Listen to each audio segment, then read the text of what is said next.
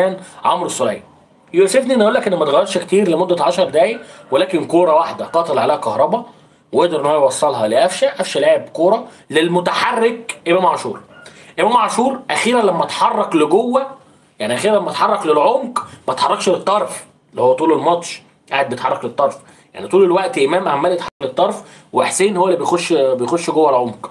حسين ما بيجريش كتير من غير كورة. حتى لما جري من غير كوره حسبت offside اللي هي كانت offside عليه هو كهربا. إنما إمام استغل إن أحمد فتوح كان مغطي بكعب رجليه وقدر إن هو يسجل هدف أول عكس مجريات اللقاء. اللقاء اللي كان كله في نص الملعب حتى ما كانش فيه خطورة كبيرة للزمالك. كلها كانت فرص طفيفة لا تؤهل إنك تقول عليها كرات محققة للتسجيل.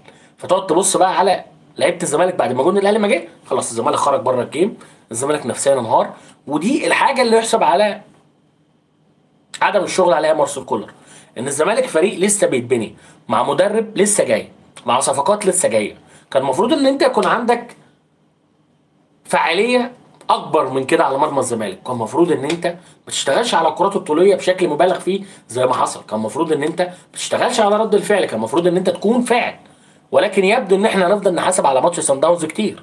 يبدو إن إحنا هنفضل نحاسب على ماتش سان داونز كتير.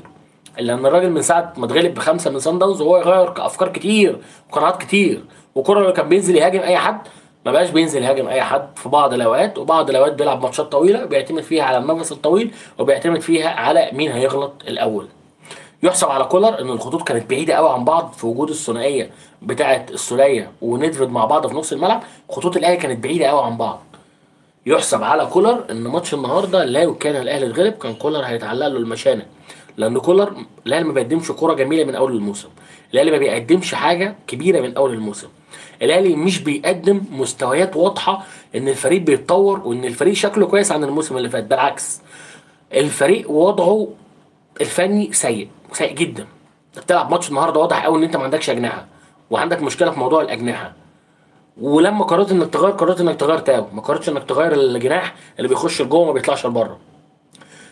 ولما غيرت نزل قفشة قدر إن هو يخلص لك الموضوع. قفشة موفق. حظه حلو. على رأي وليد الفراج. أهله بيدعوا له والشارع اللي جنبه بيدعي له وجيرانه كلهم بيدعوا له. قفشة نزل عمل اسيست وهدف تاني